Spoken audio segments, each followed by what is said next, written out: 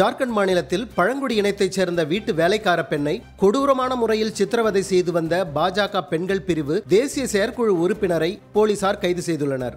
ஜார்க்கண்ட் மாநிலத்தைச் சேர்ந்த சீமா பத்ரா பாஜக பெண்கள் பிரிவு தேசிய செயற்குழு உறுப்பினர் இருக்கிறார். இவரது கணவர் ஓய்வு பெற்ற ஐஏஎஸ் அலுவலராக உள்ளார். இவர்களது வீட்டில் பழங்குடி இனத்தைச் சேர்ந்த பெண் ஒருவர் வீட்டு பணிப்பெண்ணாக வேலை செய்து வந்துள்ளார். கொடூர மனம் படைத்த சீமா பத்ரா அந்த பெண்ணை ஈவிரக்கமின்றி நடத்தி வந்துள்ளார். வழக்கமான அடி உதைகளுக்கு நடுவில் ஒருமுறை இரும்பு கம்பியால் அடித்து அந்த பெண்ணின் பல்லை உடைத்திருக்கிறார் சீமா பத்ரா. இன்னொரு முறை சூடான பாத்திரத்தை வீசி அந்த பெண்ணின் மீது தாக்குதல் நடத்தியதில் அவருக்கு உடல் முழுவதும் தீக்காயம் ஏற்பட்டுள்ளது. ஒருமுறை தரையில் சிறுநீர் கழித்துவிட்டு அதை நாவால் நக்கி தூய்மைப்படுத்தும்படி சீமா பத்ரா மிகவும் இழிவான முறையில் நடந்து கொண்டுள்ளார்.